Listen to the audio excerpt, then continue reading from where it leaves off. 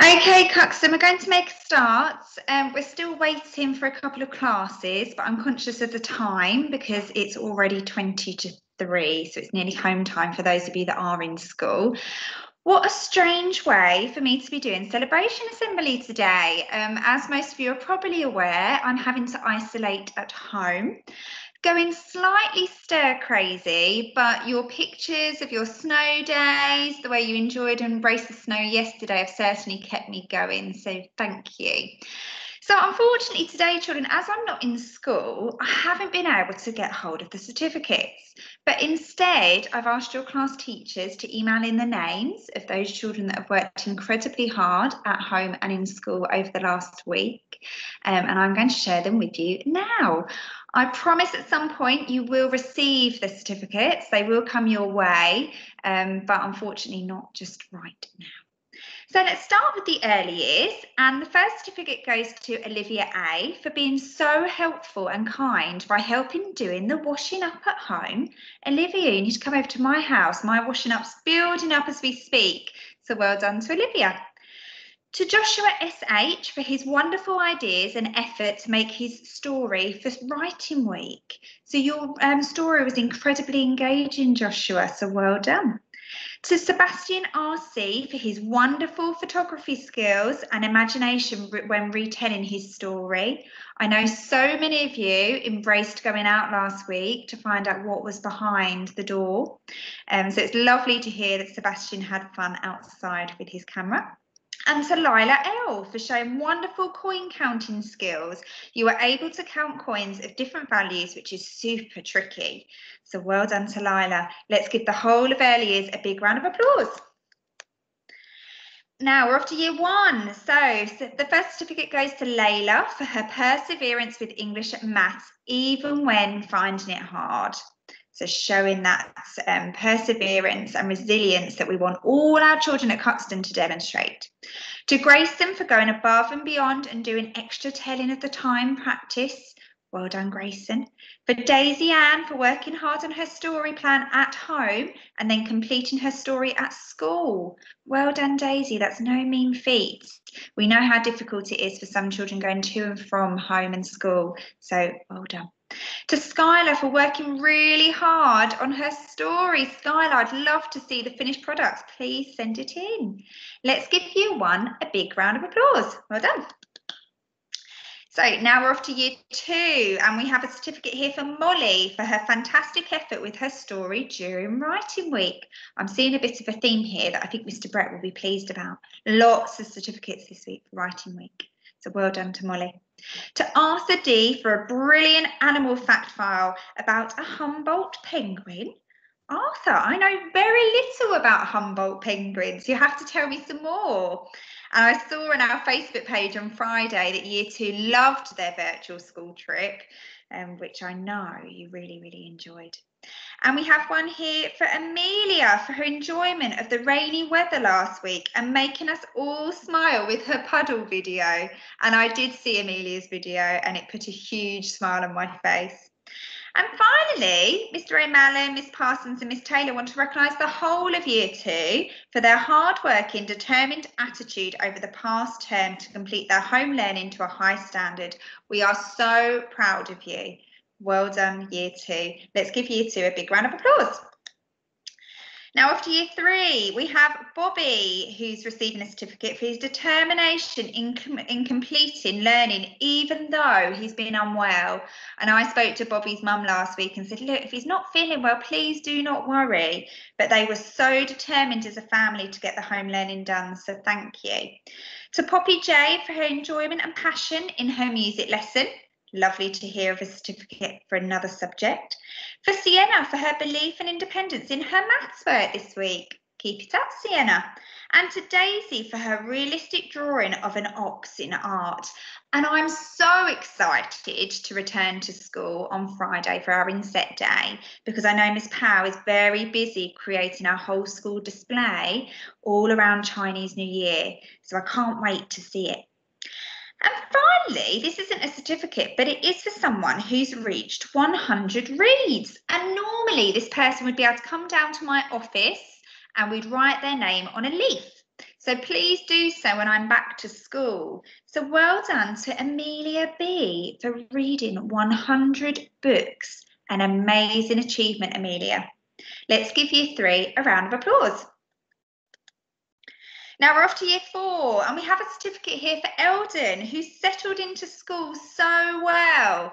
And I was speaking to Eldon's mummy last week through email and she's just as pleased at how well he's settled into Cuxton. So keep it up, Eldon. Well done to Jessica for working hard in all her lessons and really believing in herself. So demonstrating our believe value. Well done to Darcy for her hard work in all lessons, but particularly her story writing another budding author in the making. Keep it up, Darcy. And well done for Finley for his incredible efforts in his home learning, particularly his story writing as well. So I'd love to see your stories, children. Let's give you four a big round of applause. Year five, so certificate here for Ava May for being so kind and thoughtful at all times. And that doesn't surprise me at all. Um, I regularly cover the year five lunchtime and I have a chat with Ava and she's always kind and considerate. Well done to Ollie for his fantastic work during home learning, producing work of a really high standard. Well done to Logan for his fantastic efforts with his home learning as well. So keep it up. And finally, a huge well done for Freya for trying really hard with her home learning. So year five across the board, trying incredibly hard. Keep it up, year five. Let's give them a huge round of applause. So finally, off to year six. So we have a certificate here for Lily H for her fantastic perseverance in her maths work throughout the home learning period. Lovely to hear that, Lily. Well done. We have one here for Akemba for producing high quality work throughout the home learning period. Keep it up. Six weeks of really good quality work Akemba is an amazing achievement. So well done.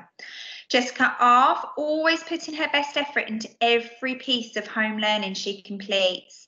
And as I said earlier, that's no mean feat. So well done, Jess. And finally, a big well done to Madison for her careful consideration of language choices in her writing to create specific effects.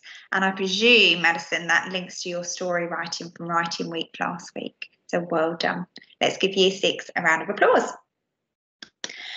Okay, we have our general certificates now for the tidiest classrooms and for the best engagement for remote learning and so on.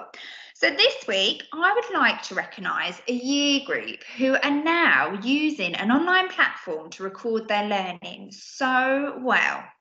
And I know Mr. Worsfold and Miss Robinson over recent months has been work have been working with the parents of this particular year group to help them upload onto this um, onto Tapestry.